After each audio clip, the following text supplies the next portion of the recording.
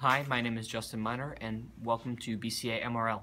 For my innovation, I created a arthritis assisting mouse. It works based on using location on a Pixy camera and vibration on a piezo element combined with an Arduino. So for a demonstration of my code, I can show you movement of the mouse through moving my hand. It can go from left to right based on a box that is created using in the code and moves faster depending on how far you are away from the box. When you click on the mouse, it can do things. It can close windows and do other things. Thank you for well, my innovation.